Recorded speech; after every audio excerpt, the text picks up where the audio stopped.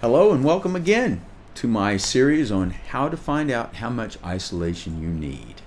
Um, going back over what I just said about finding the best and most isolation, as we know, that's really often not practical.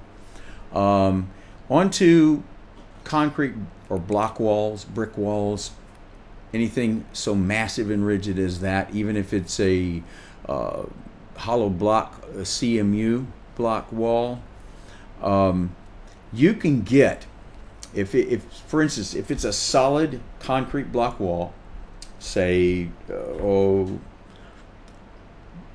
20 centimeters or 8 inches thick, you can get up to about 56 dB.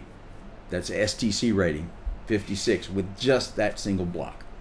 Especially if you paint it very well both sides. That seals the pores, seals everything really well, and you can get a pretty good, respectable level out of just that block wall. Um, this is assuming, of course, that all your other openings, partitions, etc., are perfectly sealed and just as massive. Um, now, when you're when doing a concrete block or brick wall, they usually apply this normal construction in a home or even uh, most most uh, commercial buildings is they'll render the interior surface with a kind of a uh, with with um, furring strips and gypsum board. This is not necessarily that good for isolation though, and that's simply due to the space or air gap that's involved you have a small air gap and adding a small membrane mass like a thin gypsum board layer drywall, uh, that's going to create a resonance that's much higher than the resonance of this heavy cement wall. And that will actually reduce the transmission loss of that wall. You're better off without it, in other words. What it does, it raises the, it increases, often increases the high frequency, mid range isolation but it will move the coincidence dip up in higher in frequency and allow more low frequency to pass through that wall where without it it would otherwise be a pretty decent soundproof wall. So be be aware. If you want if you need to um, construct a, a concrete wall or fix a concrete wall so it has more transmission loss and you want to add a, a, an isolation wall inside of that. For instance, if you just want to fur it out with with furring channel and it's still connected, it's still a coupled partition, and to put gypsum board on it, you're going to need at least 10 inches of airspace, which is crazy, and three layers of fire rated gypsum to get down to music frequencies. And this is another point I want to make about furring channel and and clips and things like that that's that's really become very common in home studios.